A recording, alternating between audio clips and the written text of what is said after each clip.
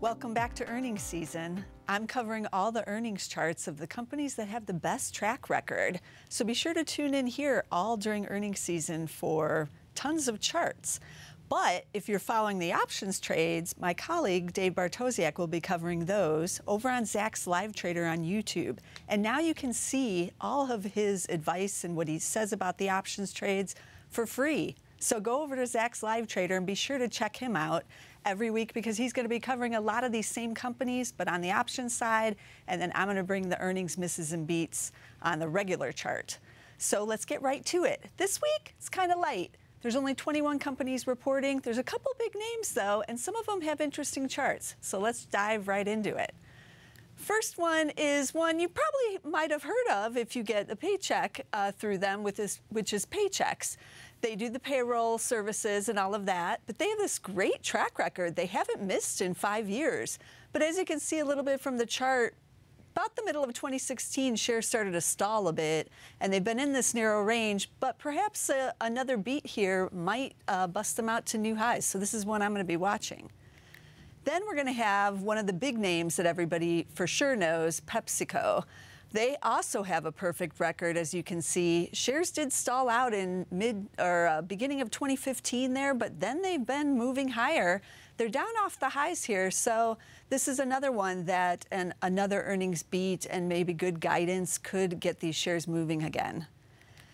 Then the prettiest chart of this week has to be Constellation Brands. They have the two misses, but way back in 2013 and 2014.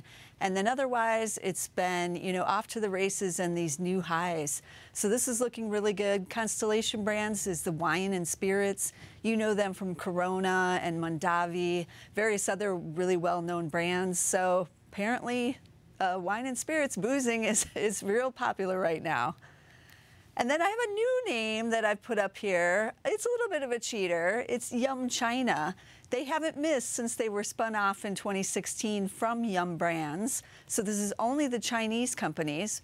So they've beaten three quarters in a row. You can see shares are a little bit crazy there, but they're back up towards those those uh, all-time highs, I guess you can say. And another beat here might propel them higher. So this is a play on China.